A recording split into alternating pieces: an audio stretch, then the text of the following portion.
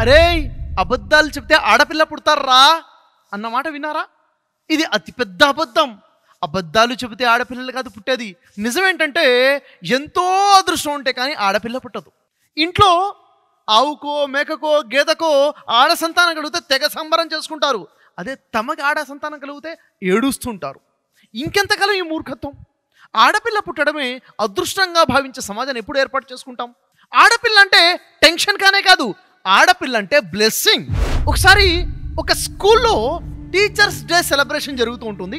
ఆ సెలబ్రేషన్లో మార్నింగ్ నుంచి ఈవినింగ్ వరకు అందరూ చాలా ఎంజాయ్గా సెలబ్రేషన్ జరుగుతున్నాయి. ఈవినింగ్ టైంలో ఆడిటోరియంలో ఒక ప్రోగ్రామ్ ఆర్గనైజ్ చేయడం జరుగుతుంది. ఆ ఆడిటోరియంలో ఉండే ఆ ప్రోగ్రామ్ ఏంటంటే ఆ స్కూల్లో ఉన్న టీచర్స్ అందరూ కూడా ఒక్కొక్కరుగా మైక్ దగ్గరికి వచ్చి వారి గురించి మాట్లాడాలి వారి ఫ్యామిలీ గురించి చెప్పాలి. వాళ్ళ పేరెంట్స్ ఏంటి వాళ్ళ ఫ్యామిలీ ఏంటి వాళ్ళ పిల్లలు ఏంటి వాళ్ళ హస్బెండ్ ఏంటి లేకపోతే వాళ్ళ వైఫ్ ఏంటి ఈ విషయాలు షేర్ చేసుకోవాలి. ఇది నడుస్తుంటుంది. ఒక టీచర్ ఇంకొక టీచర్ ఇంకో టీచర్. ఇలా ఒకళ్ళ తర్వాత ఒకళ్ళు మాట్లాడుకుంటూ వస్తున్నారు. చివరికి రమాదేవి అనే ఒక పేరున్నటువంటి టీచర్ మైక్ దగ్గర రాగానే పిల్లలందరూ గేరింతలు మొదలు పెడతారు. మొత్తం అరవడం మొదలు పెడతారు. ఎందుకంటే రమాదేవి అన్న టీచర్ అంటే చాలా ఇష్టం పిల్లలకి.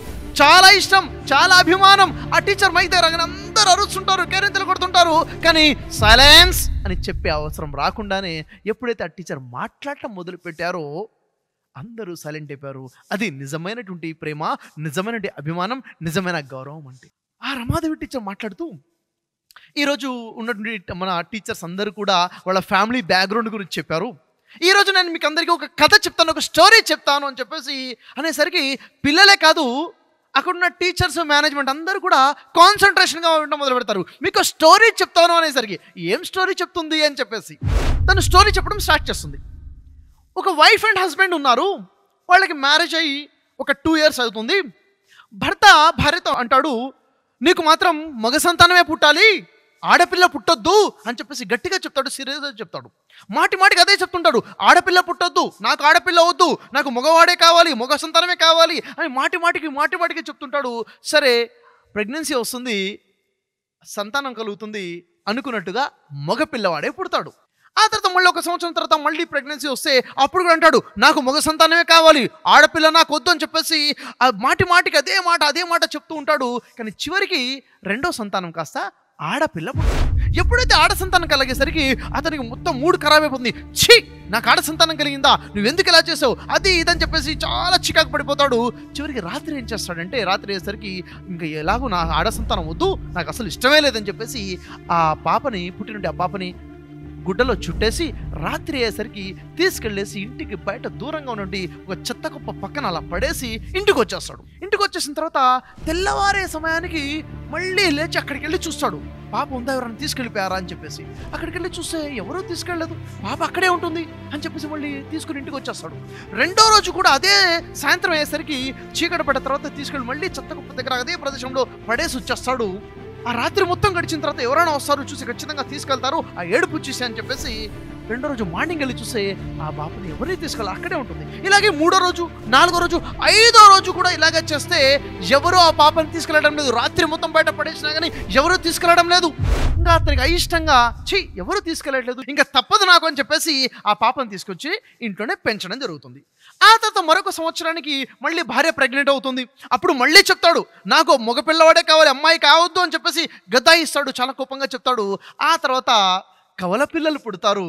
ఇద్దరు కూడా మగపిల్లలు. అంటే పూర్తిగా ఎంత ఉంది సంతానం? నలుగురు సంతానం. నలుగురు సంతానంలో ముగ్గురు మగపిల్లలు ఉన్నారు. ఒక ఆడ సంతానం ఉంది. ఆ తర్వాత ఏమవుతుంది?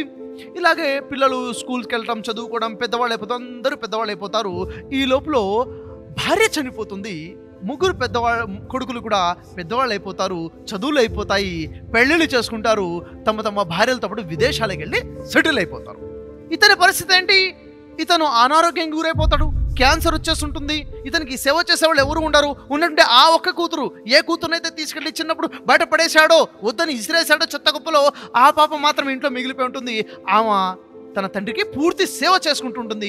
ఈ పాప లేకపోతే ఇంకెవరు ఉండరు అతనికి సేవ చేయడం కోసం. ఇలాంటి పరిస్థితి. అయితే ఈ పాప మరి అందరూ పెళ్ళి చేసుకుని వెళ్ళిపోయారు కదా. మరి ఈ కూతురు పెళ్ళి చేసుకోలేదంటే ఈ కూతురు పెళ్ళి చేసుకుని వెళ్ళిపోతే మా నాన్నకి సేవ ఎవరు చేస్తారు? అన్న ఒక్క ఆలోచనతో మా నాన్న నేను కాపాడుకోవాలి మా నాన్నకి నేను సేవ చేయాలి నేను లేకపోతే మా నాన్నకి ఎవరు సేవ చేసేవాళ్ళు ఉండరు అని చెప్పేసి తను మ్యారేజ్ కూడా చేయకుండా త్యాగం చేసి తన నాన్నకి సేవ చేసుకుంటూ ఉండిపోతుంది అని చెప్పి ఆ కూతురు మరెవరో కాదు మీతో మాట్లాడుతున్న మీ రమాదేవి టీచర్ నేనే అని చెప్పడం జరుగుతుంది. నన్ను ఎన్నిసార్లు చెత్త కుప్పలో పడేసినా కానీ నేను మాత్రం మా నాన్న నేను వదులుకోలేను కదా అని చెప్పేసి తన కుటుంబం గురించి ఒక కథ రూపంలో చెప్తుంది.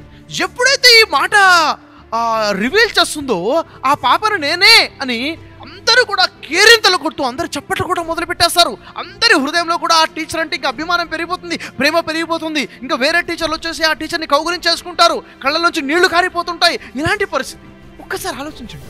ఈరోజు చాలా మంది ఆలోచన ఇప్పుడు కూడా మూర్ఖత్వపు ఆలోచన ఏంటంటే ఆడపిల్ల పుట్టడం అంటే టెన్షన్ టెన్షన్ టెన్షన్. ఆడపిల్ల పుట్టడం అంటేనే టెన్షన్. నేనంటాను ఆడపిల్ల టెన్షన్ కాదు టెన్ సన్స్ కన్నా ఎక్కువ అని చెప్తాను. పది మంది కొడుకుల కన్నా ఎక్కువ ఒక కూతురు. ఎందుకంటే తల్లిదండ్రులకు అనారోగ్యం ఉంది అని చెప్తే కుమారుడు ఏదో పనిలో బిజీగా ఉంటాడేమో కానీ కూతురు ఎక్కడ ఉన్నా పెళ్ళి చేసుకుని వెళ్ళిపోయి ఉన్నా కానీ వెంటనే వచ్చి వాలిపోతుంది సేవ చేయడం కోసం.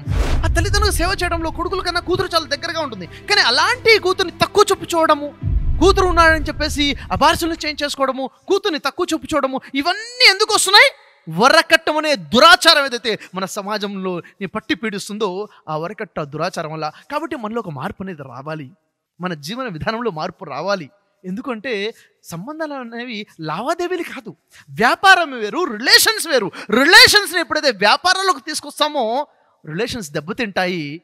మన జీవన విధానంలో మానవుడు యొక్క జీవితానికి విలువ లేకుండా పోతుంది. కాబట్టి ఈ తరుణంలో మనం తీసుకోవాల్సిన నిర్ణయం ఏంటో తెలుసా?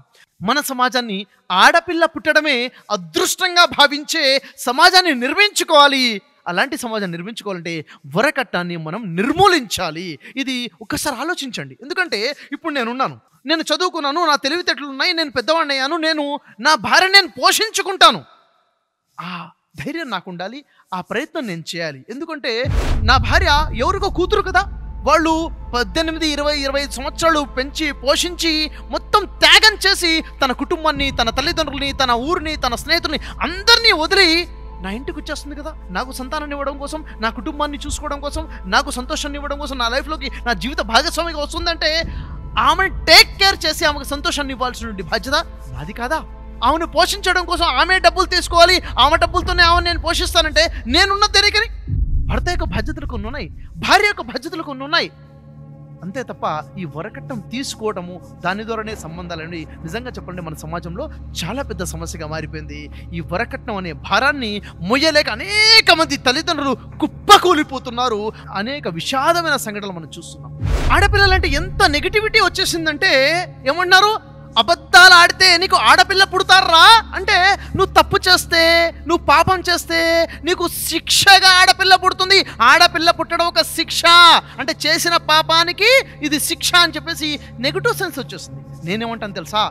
నీకు ఎంతో అదృష్టం ఉంటే కానీ ఆడపిల్ల నీకు పుట్టదు. ఎందుకంటే నేను ఇంతకుముందు చెప్పినట్టుగా ఇంట్లో ఉన్నటువంటి ఆవుకో గేదెకో మేకకో ఆడ సంతానం పుట్టగానే సంబరపడిపోతున్నాం. కానీ మూర్ఖత్వం ఏంటి?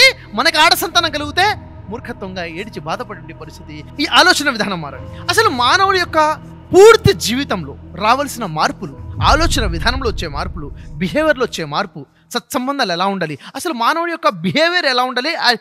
హ్యాబిట్స్ ఎలా ఉండాలి? ఇవన్నీ ఒక గొప్ప మార్పు రావడం కోసమే నేను ఒక గొప్ప వర్క్షాప్ లాంచ్ చేయడం జరిగింది. ఎక్సలెంట్ అద్భుతమైన వర్క్షాప్ మొదటిసారిగా జరగబోతున్న వర్క్షాప్ ఏంటో తెలుసా? బ్రేకప్ బ్రేకప్ అనే workshop breakup before marriage breakup after marriage పెళ్ళి కన్నా ముందు పెళ్ళికి తర్వాత. పెళ్ళి కన్నా ముందు ఏదైతే బ్రేకప్ బ్రేకప్ బ్రేకప్ అనే సమస్య ఎదుర్కొంటున్నారో దాన్ని ఎలా మేనేజ్ చేయాలి? మ్యారేజ్ తర్వాత ఏదైతే రిలేషన్స్ బ్రేక్ అవుతున్నాయో దీన్ని ఎలా మేనేజ్ చేయాలి? ఫైనల్గా మీ లైఫ్లో సంతోషం ఎలా రావాలి? సంతోషకరమైన జీవితాన్ని మీరు అలా లీడ్ చేయాలి? అని చెప్పేసి. ఎందుకంటే కోట్లు ఖర్చు పెట్టిన సంతోషాన్ని మనం కొనలేము. ఆలోచన విధానం మార్చుకోవడం ద్వారానే మన సంతోషాన్ని మనం కొనగలుగుతాము. దాని ద్వారా మన లైఫ్లో సంతోషం అనేది వస్తుంది. మీకోసం ఉన్న వర్క్షాప్లో మీరు లేకపోతే బాగుంటుందా? అసలే బాగోదు. అందుకనే మీకోసం మిమ్మల్ని ప్రతి ఒక్క వ్యక్తిని నేను ఆహ్వానిస్తున్నాను. మీరు ఇష్టపడే వాళ్ళకి షేర్ చేయండి వీడియోని. వారు కూడా వర్క్షాప్ అటెండే విధంగా మీరు ప్రయత్నం చేయండి. మనమంతా కలిసి మన లైఫ్లో ఒక గొప్ప హ్యాపీనెస్ని తెచ్చుకుందాం. నేను ఎదురు చూస్తుంటాను వర్క్షాప్ కోసం. మీకు ఏమైనా డీటెయిల్స్ కావాలనుకుంటే ఈ నెంబర్కి కాంటాక్ట్ చేయండి. అదేవిధంగా సెప్టెంబర్ ఇరవై ఏడో తేదీన హౌ టు ఎర్న్ మనీ డబ్బు ఎలా సంపాదించాలి అనే అద్భుతమైన వర్క్షాప్ ఉంది. దానికోసం మీరు పే చేయాల్సింది ఫైవ్ థౌసండ్ రూపీస్ కానే కాదు కేవలం two thousand five hundred rupees మాత్రమే. Don't miss any workshop I welcome you all see again thank you